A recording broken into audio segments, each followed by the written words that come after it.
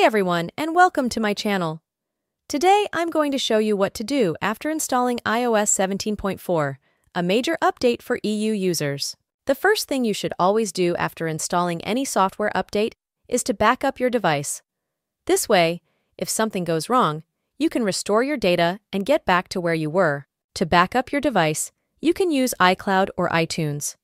To back up to iCloud, go to Settings, Apple ID, iCloud, iCloud Backup, and turn on iCloud Backup. After you've backed up your device, you should check for updates to your apps.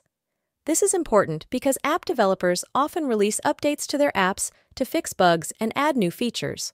To check for updates to your apps, open the App Store and tap on your avatar. Then, tap on the Update button for every application that you have installed. Finally, you should restart your device after installing iOS 17.4. This will help to ensure that all of the changes made by the update have been applied. To restart your device, press and hold the power button until the slide to power off screen appears. Then, slide your finger from left to right to power off your device. To turn your device back on, press and hold the power button until you see the Apple logo. Also, resetting your network settings is a good thing to do. Because of the issues that included slow Wi Fi speeds and dropped connections for some users, after installing iOS 17.4. This will reset all of your Wi Fi, cellular, and VPN settings to their factory defaults.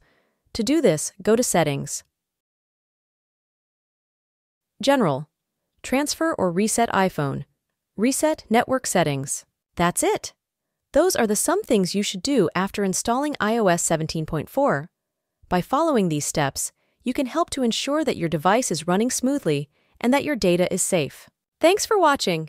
If you enjoyed this video, please give it a thumbs up and subscribe to my channel for more helpful tips and tutorials.